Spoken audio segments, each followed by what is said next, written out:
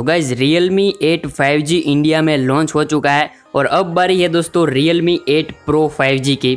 तो गाइज़ कुछ दिन पहले Realme की Q3 सीरीज़ जो है वो चाइना में लॉन्च हुई थी और उसमें जो गाइज़ Realme Q3i के नाम से स्मार्टफ़ोन एक चाइना में लॉन्च किया गया था सेम वही स्मार्टफ़ोन दोस्तों रीब्रांड होकर इंडिया में Realme 8 5G के नाम से लॉन्च हुआ है। और अब दोस्तों जो Realme Q3 जो 5G Realme Q3 5G smartphone जो चाइना में दोस्तों लॉन्च हुआ है और वही स्मार्टफ़ोन सेम दोस्तों रीब्रांड होकर Realme 8 Pro 5G के नाम से इंडिया में लॉन्च होने वाला है कुछ ही दिन में। अब ऐसा मैं दोस्तों आपके, आपसे क्यों कह रहा हूँ, वो भी मैं आपको यहाँ पर एक्सप्लेन कर देता हूँ। तो यहाँ पर दोस्तों जो Realme 8 Pro 5G है, वो इंडिया में इंडिया की दोस्तों BIS वेबसाइट पर लिस्ट हुआ था क्वालकॉम स्नैपड्रैगन 750G के साथ। और जो चाइना में Realme Q3 लॉन्च हुआ है, वो भी दोस्तों क्वालकॉम स्नैपड्रैगन 750G पर ही है। तो सेम यही स्मार्टफ़ोन दोस्तों इंडिया में Realme 8 Pro 5G के नाम से आने वाला है। तो यहाँ पर अब दोस्तों हमारे पास रियल Realme 8 Pro 5G के कन्फर्म स्पेसिफिकेशन आ चुके हैं। तो अगर आप इस फ़ोन के लिए एक्साइटेड है तो वीडियो में एंड तक ज़रूर बने रहिएगा, क्योंकि आज के इस वीडियो में रियल Realme 8 Pro 5G के कन्फर्म स्पेसिफिकेशन प्राइस और लॉन्च डेट के बारे में बताने वाला हूँ। लेकिन अगर अभी तक आपने वीडियो को लाइक नहीं किया है तो लाइक कर दीजिए चैनल को सब्सक्राइब नहीं किया है तो सब्सक्राइब कर दीजिए, क्योंकि आगे भी यहाँ पर आपको ऐसी ही न्यूज़ देखने को मिलती रहेगी। तो चलिए अब हमारा वीडियो स्टार्ट करते हैं। तो यहाँ पर गए सबसे पहले अगर डिज़ाइन की बात करें तो कुछ इस तरीके का डिज़ाइन आपको देखने को मिलने वाला है। इस बार भी आपको यहाँ पर Realme 8 4G वाली सीरीज़ की तरह ही यहाँ पर आपको डेयर टू लिप बड़े बड़े अक्षरों में देखने को मिलता है। इसके अलावा यहाँ पर 189 ग्राम्स का वेट है और 8.8 पॉइंट mm का थिकनेस है।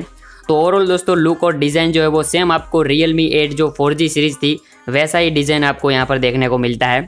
इसके अलावा 6.5 इंच का full HD plus I LCD वाला डिस्प्ले आपको मिलता है। यहाँ पर आपको ना ही एमोलेड मिलता है और ना ही सुपर एमोलेड एलसीडी वाला पैनल यहाँ पर मिलता है। लेकिन अच्छी बात यह है कि यहाँ पर आपको साथ में 120 ट्वेंटी का फास्ट रिफ्रेश रेट मिलता है। और साथ में आपको 180 एटी का टच सैम्पलिंग रेट भी मिलता है। और 600 हंड्रेड निट्स का पिक ब्राइटनेस है। तो ओवरऑल दोस्तों डिस्प्ले काफ़ी अच्छा है, लेकिन अगर एमोलेड होता तो दोस्तों और भी ज़्यादा मज़ा आता। इसके अलावा प्रोसेसर की दोस्तों बात करें तो क्वालकॉम स्नैपड्रैगन 750G है, जो कि 5G प्रोसेसर है और काफ़ी अच्छा प्रोसेसर है और काफ़ी पावरफुल भी है। इसके अलावा यहाँ पर आपको ट्रिपल कैमरा सेटअप मिलता है, जबकि Realme 8 Pro 4G था, उसमें आपको क्वाड कैमरा सेटअप मिलता था। यहाँ पर पीछे की साइड में आपको 48 मेगापिक्सल का प्राइमरी कैमरा है 8 मेगापिक्सल का अल्ट्रा वाइड है और 2 मेगापिक्सल का मैक्रो सेंसर है। और आगे की साइड में 16 मेगापिक्सल का सेल्फी कैमरा है दोस्तों, और 5000 हज़ार की बैटरी है और साथ में आपको 30 वोट का फास्ट चार्जर मिलता है। और ये बैटरी दोस्तों करीब 65 मिनट में फुल चार्ज हो जाती है। इसके अलावा दोस्तों, कुछ अदर फीचर्स की यहाँ पर बात करें तो डेडिकेटेड सिम कार्ड स्लॉट का यहाँ पर आपको ऑप्शन मिलता है। इसका मतलब दो सिम कार्ड और एक मेमोरी कार्ड यहाँ पर आप यूज़ कर पाएँगे। इसके अलावा 3.5 पॉइंट mm का हेडफोन जैक इस फ़ोन में है और ड्यूल 5G सिम का भी इस फ़ोन में आपको सपोर्ट मिल जाता है। दोनों ही सिम आप 5G भी यूज़ कर पाएँगे। और यहाँ पर अगर प्राइस की दोस्तों बात करें तो इस मोबाइल में आपको दो वेरिएंट देखने को मिलते हैं। Six G B one twenty eight G B और eight G B one twenty eight G B तो सिक्स जी वाले वेरियंट का प्राइस दोस्तों सत्रह हज़ार नौ सौ निन्यानवे यानी कि अठारह हज़ार होने वाला है, जो कि Realme 8 4G का प्राइस भी दोस्तों बेस वेरियंट का सेम यही प्राइस है और इसका भी दोस्तों सेम यही प्राइस होने वाला है, क्योंकि दोनों मोबाइल में दोस्तों काफ़ी डिफरेंस है डिस्प्ले में डिफरेंस है और यहाँ पर कैमरे में भी डिफरेंस है। इसके अलावा यहाँ पर जो प्रोसेसर है, उसमें भी डिफरेंस देखने को मिलता है। तो एक फ़ोन दोस्तों 5G है, लेकिन यहाँ पर आपको डिस्प्ले और कैमराज में कॉम्प्रोमाइज़ करना पड़ेगा।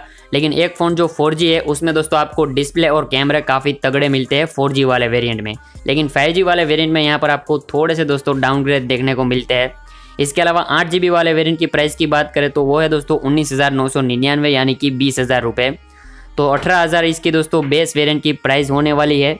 तो फ़ोन गाइज़ काफ़ी अच्छा है, लेकिन यहाँ पर डिस्प्ले जो है वो एमोलेड होता तो और भी मज़ा आता और यहाँ पर कैमरा में भी हमें थोड़ा सा डाउनग्रेड देखने को मिलता है।